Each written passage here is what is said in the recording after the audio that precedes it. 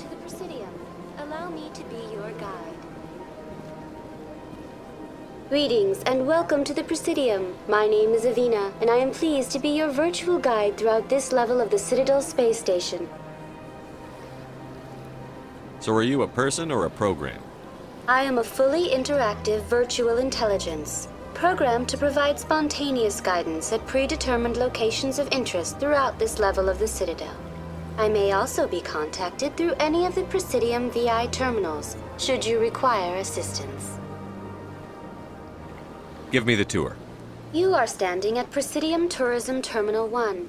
On either side of this lobby are the embassies of the various Citadel races, along with C-Sec headquarters. On the far end of this level, you can see the Citadel Tower, where the Council meets regularly to discuss matters of interstellar importance.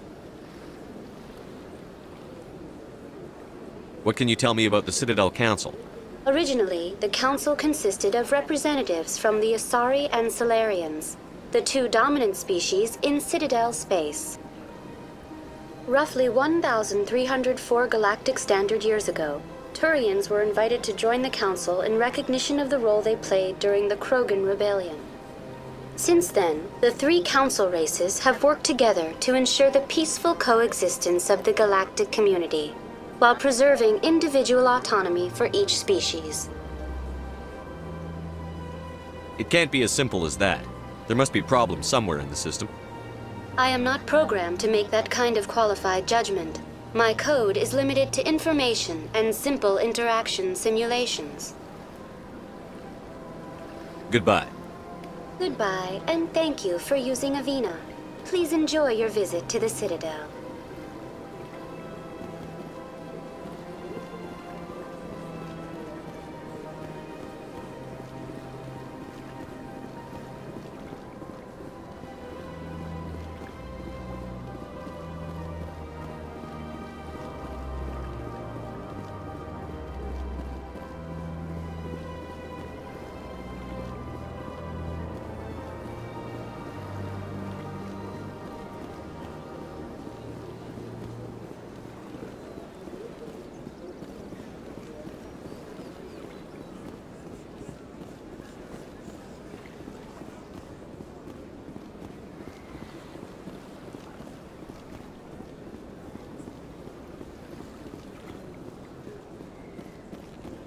Look at that bug thing over there. What's it doing? Please do not disturb the keepers. Welcome to Presidium Tourism Terminal 2. You are standing near the base of the Citadel Tower, one of the Presidium's most recognizable and important structures. Behind me is the spectacular Relay Monument, a scale model representation of a Prothean mass relay. To your left is one of the Keepers, the enigmatic caretakers of the Citadel, working on a control panel. You may see Keepers involved in various tasks throughout all levels of the Citadel. We ask that you do not interfere with them in any way. The Keepers are essential to the smooth operation of the Citadel. Obstructing their daily work will result in harsh penalties, including incarceration and rehabilitation. I'd like to know more about the Keepers. Little is known about these peaceful servants of the Citadel, though they are essential to the operation and maintenance of the entire station. Citadel regulations protect the Keepers against interference during the performance of their tasks. Failure to comply will result in harsh penalties. Keepers can be seen in all sections of the Citadel, but are typically found in and around the tower. Any particular reason there are so many Keepers in this area? The Keepers do not communicate with other species. It is assumed, however, that the tower houses the Citadel's primary control systems.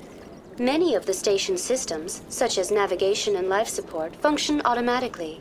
It is believed the Keepers operate those systems from inside the tower's inaccessible core. The Keepers also make frequent appearances in the Council chamber itself, though they appear to be just passing through on their way to some other destination.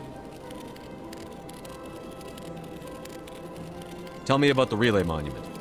Discovered by the Asari who first arrived at the Citadel, the Relay Monument is one of the station's most interesting and controversial features.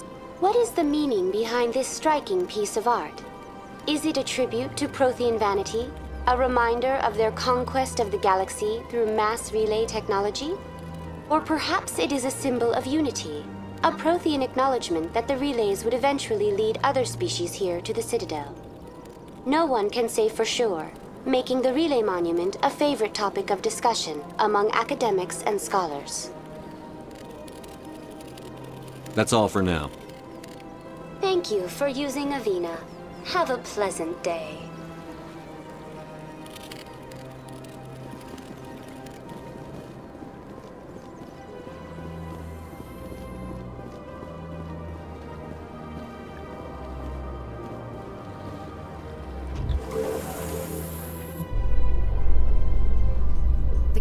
Isn't gonna ask me any questions, are they? I doubt it. We've made our reports. Now we just have to trust Ambassador Udina. No, we don't, sir.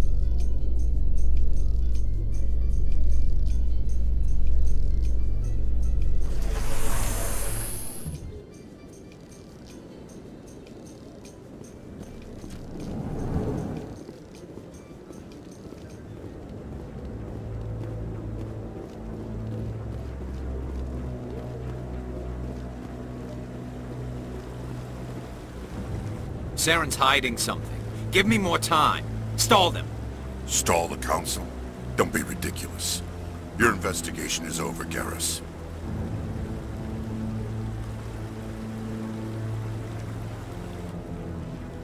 Commander Shepard, Garrus Vakarian. I was the officer in charge of the C-Sec investigation into Saren.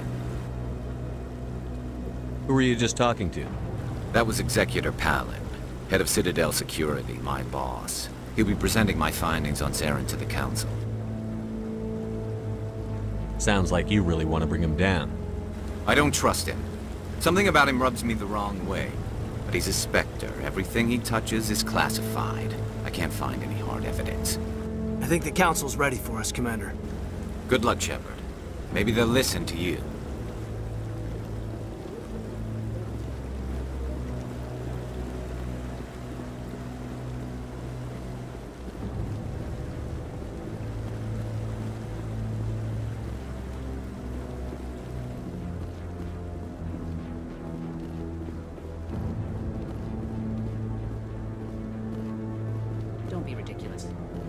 Won't be joining the Council for years. I'm not so sure. The humans are making a strong push, and you can bet the Volus will be right on their coattails if they succeed. Allowing the humans to join us is a sound strategic move. But the Volus? No. The Hanar are likely to be next, then the Elcor. You may be right, though the Hanar need to lighten up a bit first. You just don't like them because you have trouble understanding them.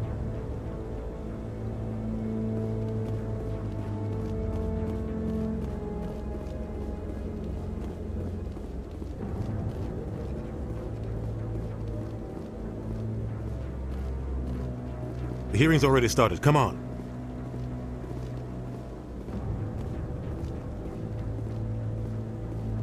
The Geth attack is a matter of some concern, but there is nothing to indicate Saren was involved in any way. The investigation by Citadel Security turned up no evidence to support your charge of treason. An eyewitness saw him kill Nihlus in cold blood. We've read the Eden Prime reports, Ambassador. The testimony of one traumatized dock worker is hardly compelling proof. I resent these accusations. Nihlus was a fellow Spectre and a friend. That just let you catch him off guard. Captain Anderson, you always seem to be involved when humanity makes false charges against me. And this must be your protege, Commander Shepard. The one who let the beacon get destroyed. The mission to Eden Prime was top secret. The only way you could know about the beacon was if you were there.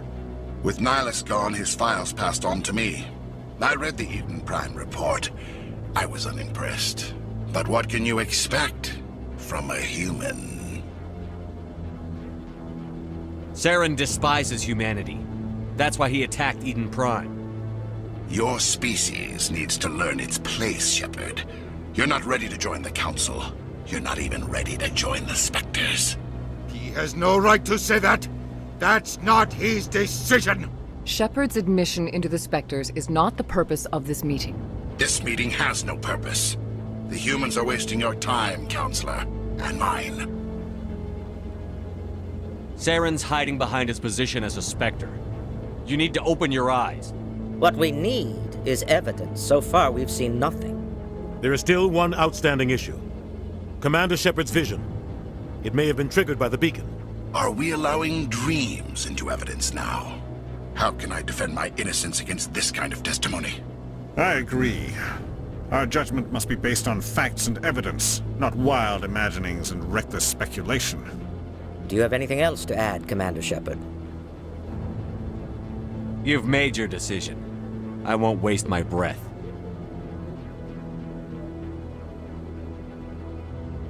The Council has found no evidence of any connection between Saren and the Geth. Ambassador, your petition to have him disbarred from the Spectres is denied. I'm glad to see justice was served. This meeting is adjourned.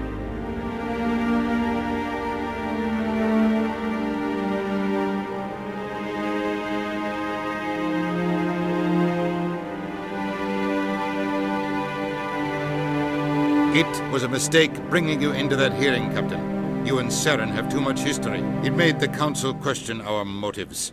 I know Saren. He's working with the Geth for one reason. To exterminate the entire human race. Every colony we have is at risk. Every world we control is in danger. Even Earth isn't safe.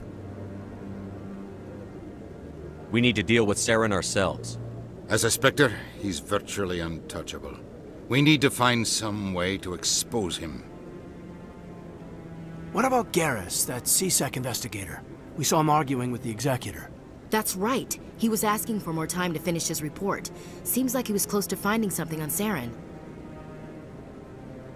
Any idea where we could find him? I have a contact in C-Sec who can help us track Garrus down.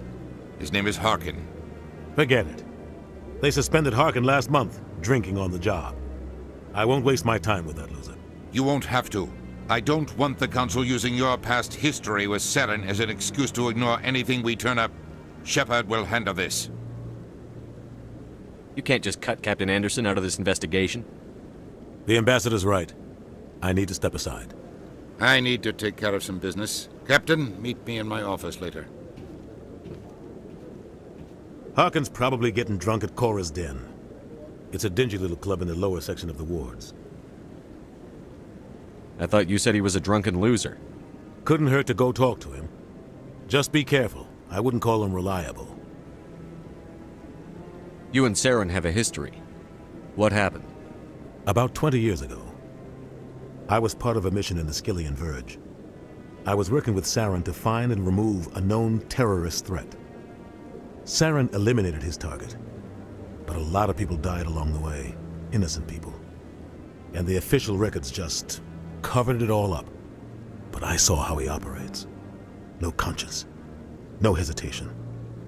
He'd kill a thousand innocent civilians to end a war without a second thought. Killing innocents doesn't end wars, it causes them.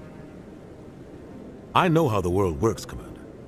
Sometimes you're forced to make unpleasant decisions. But only if there's no other way. Saren doesn't even look for another option. He's twisted, broken. He likes the violence, the killing. And he knows how to cover his tracks. Our ambassador doesn't seem to get along with the Council. He's just frustrated. The Council's always preaching that we need to be part of the galactic community. But for them, it's a one-way street. They want us to expand and settle unstable regions like the Skyllian Verge and the Attican Traverse. But when we run into trouble, they don't want to help us out. Everyone knows it's only a matter of time until we get a seat on the Council. The Ambassador just thinks it should happen sooner rather than later. And I agree. Maybe they'd let us join the Council if we were more willing to cooperate with the other species. Of course they would. If we did everything they told us to, they'd love to have us on the Council. But it wouldn't be much of a deal for us. I understand their side. They don't want us dominating the Council. It's founded on cooperation and alliances. But we have to look out for our own interests, too. I want to know more about the Spectres. They're not your typical government agency. They tend to work alone, behind the scenes. They take care of problems the Council can't. It's not easy preserving peace across an entire galaxy. The Council prefers to use diplomacy and negotiation. But sometimes more extreme measures are needed. How do they decide who becomes a Spectre? You can't just apply to join. There's no training program. Spectres aren't made. They're born. The Council's always looking for exceptional individuals. People who can get the job done. Like you. They've been watching you for years. They see something in you. They want you on their side. Nihlus was supposed to give them a final recommendation, but with him gone, things are still up in the air. What's their command structure like? There is no command structure. Each Spectre answers directly to the Council. Sometimes they're sent on specific missions. Other times, they act on their own. They tend to operate outside the law, do whatever it takes to accomplish their goals. The Council just turns a blind eye. Spectres have a lot of power, Shepard. They sound like shadow operatives. Everything about them is classified. We don't even know how many there are. The latest Alliance estimate puts their numbers under a hundred. But the Council couldn't do its job without them. They're the Citadel's top agents, the last line of defense, the final option before open war. The entire galaxy respects and fears them. If a Spectre shows up, you know something big is about to happen. What happens when a Spectre goes rogue, like Saren? It doesn't happen often. The Council is careful when they select their candidates. But when something does go wrong, there's usually only one solution. Send another Spectre to bring the rogue agent down.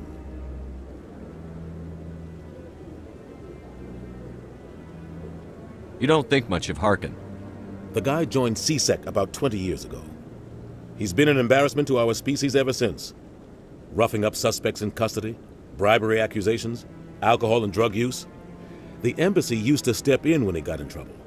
But I guess enough was enough. The guy's a scumbag. He should have been cut loose a long time ago. He was one of the first human C-Sec officers. Guess it would have looked bad if he got fired. A lot of backroom deals were worked out over the years to keep him on the force. Politics is a dirty business sometimes, but it looks like his time's run out. We've got enough humans in C-Sec now to stop protecting him. I should go. Good luck, Shepard. I'll be over in the ambassador's office if you need anything else.